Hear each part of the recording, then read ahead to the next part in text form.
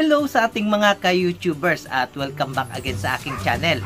At itong gagawin natin ngayon guys, ito kasi yung mabenta sa atin. Ayan, mas mabuti kasing mag-repack na lang tayo ng ating mga gamis kasi ito yung mabibenta dito sa ating uh, tindahan. Kahit na mga bata guys ay pinagkakaguluhan nila itong ating mga panindang gamis. Lalo na rin itong uh, candy na coated peanuts. Ayan, kasi hindi lang bata yung mga mahilig dito sa ating candy na coated peanuts, pati na rin yung matatanda na hilig sila rito kasi mas gustong gusto nila yung mani. Ayan. At marami nga tayong klase ng mga gamis guys. Ang gamis natin na ito ay ito yung may ngipin-ngipin at ito naman guys ay yung ating uh, caterpillar. Ayan, yung tinatawag nilang uod-uod guys. Uh, meron pa tayo ritong tinatawag nilang ito yung gummy candies. Ayan, yung burger. Ayan guys, ito yung design niya burger. Ayan. At meron pa tayong ayan, ay ito yung puso. Ayan guys, uh, yung design naman niya ay papuso naman. Ayan. At ngayon guys ay iriripak natin itong mga candy na to. At ito guys yung ginagamit natin na pambalot sa plastic at irerepack nga natin itong ating candy o yung ating mga gamis pati na yung ating coated na peanut. Ayan. Ang bili nga natin dito sa coated peanuts na to guys ay 140 pesos. At ang bili naman natin dito sa mga gamis na to ay 42 pesos. Yan yung mga presyo niya at mamaya sasabihin ko sa inyo kung ilan ba yung mga naripak natin at ilan ba yung mapapa labas natin o yung ating tutubuin. Di bali, ang bili naman natin, na, natin dito sa plastic na to ay 12 pesos ang isa. Ayan, bumili tayo ng lima. At wala kasing nakalagay kung ilang piraso yung laman nitong plastic na to. At siguro naman baka may 100 pieces naman siguro yung laman kada isa. Ayan. At sa halagang 12 pesos nga guys, makakapag-repack na tayo ng mga candy. Ayan. At isi-sealed na lang natin siya mamaya. Sakto naman at meron tayong sealer. At ito nga guys, ah, samahan nyo ako magre-repack na tayo ng ating mga candy. Ayan. At unahin natin ito sa coated peanuts. At ang ilalaman natin dito sa ating candy na to ay 11 piraso. Ayan. At magkakano ba ang bentahan natin ito? Uh, ibebenta natin siya ng 5 pesos.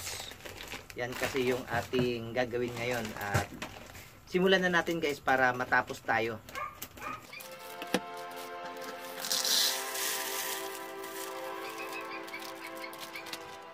At ito na nga guys yung ating uh, candy, yung coated nuts. At i-repack nga natin siya ngayon. Ayan, nilagay natin sa isang bowl at meron tayong kutsara na gagamitin.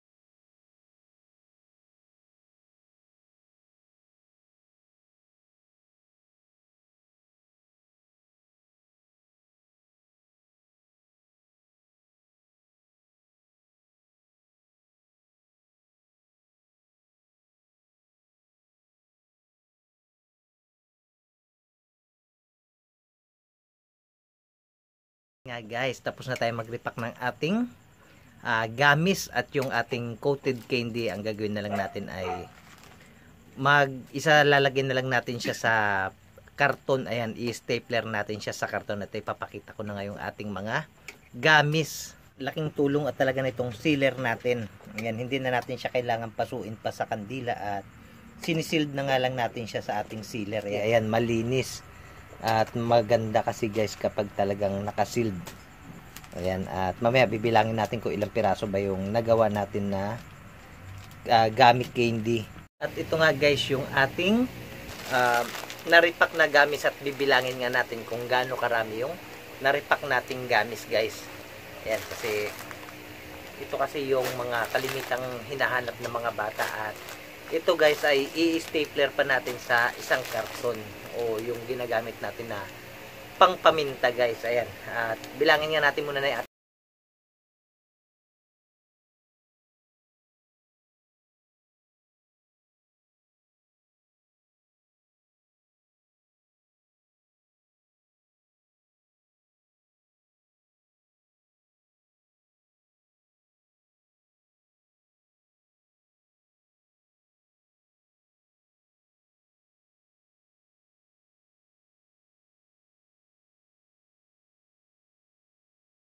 at-64. Ayan. 64 pieces guys yung ating naripak na gamis. Ayan. At kikwentahin natin ngayon kung magkakano ba yung nagawa natin. Ayan. Nga guys, ah, makaka 320 tayo pagka napaubos natin to. Ayan, yun yung bentahan natin 5 pesos. Ayan. At ang tutubuin nga natin ay 152 pesos sa gamis. Ayan. Ito yung niripak natin. Ayan guys, tatlong piraso, limang, limang piso. Ayan. Kasi ito guys ay mabenta dito sa ating tindahan itong mga gamis na to lalong lalo na sa mga bata. Ayan at hindi lang naman yan yung mabenta sa atin pati yung mga itlog at yung maning hubad na binebenta natin. Ito na lang kasi guys yung natitira sa ating mga gamis kaya naman dinagdagan na natin